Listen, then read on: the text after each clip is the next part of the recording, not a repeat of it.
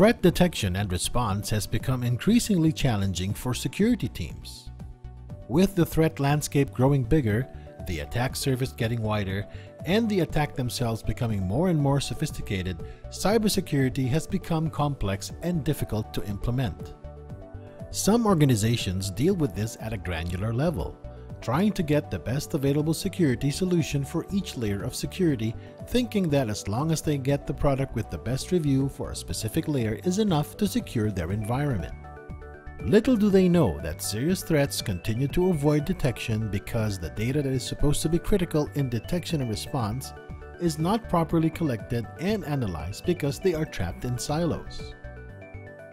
Join us as we take a look at the current state of threat detection and response.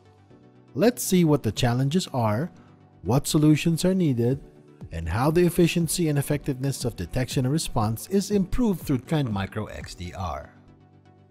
A traditional method for detection and response is SIEMS.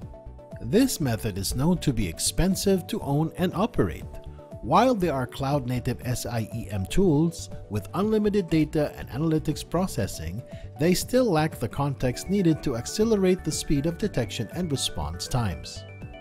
SIEM systems also lack machine learning-based correlation and analysis capabilities leaving this effort to the already overworked Security Operations Center analysts. To fill this gap, organizations have turned to endpoint detection and response, also known as EDR systems. Unfortunately, the use of EDR tools alone for investigating threats and hunting for not yet identified threats aren't enough for most security teams. EDR alone is simply not enough to empower security pros to detect, investigate, and respond to attacks at the pace they need to keep up with modern attackers. For a good detection and response solution to work, a broader approach is needed. But first, let's try to understand why threat detection and response is more difficult today than it was in the past. Back in 2018, Enterprise Strategy Group conducted a research that aimed to better understand the current state of threat detection and response. 45% of respondents said that threat detection and response is much more difficult today than it was two years ago, and 31% said it is somewhat more difficult.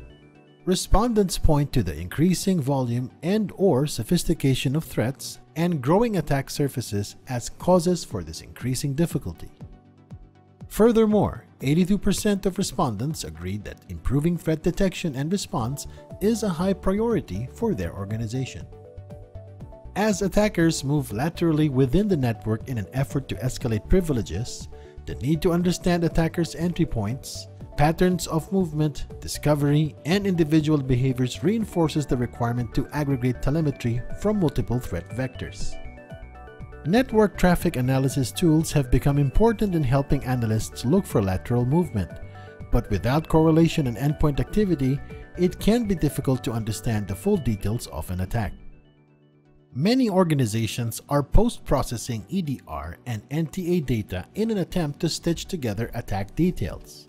Yet even with EDR solutions in place, security teams continue to struggle to keep up. While most teams are depending on multiple independent tools, ESG research shows that 66% of respondents believe that their TDR effectiveness is limited because it is based on multiple independent point tools. This means that despite the tools in place, teams still aren't leveraging them to their full capacity. This is the current detection and response landscape. For the next part, we will be discussing the different challenges encountered with the traditional solutions. Make sure to watch the remaining parts of this episode to fully understand the importance of Trend Micro's managed XDR solution.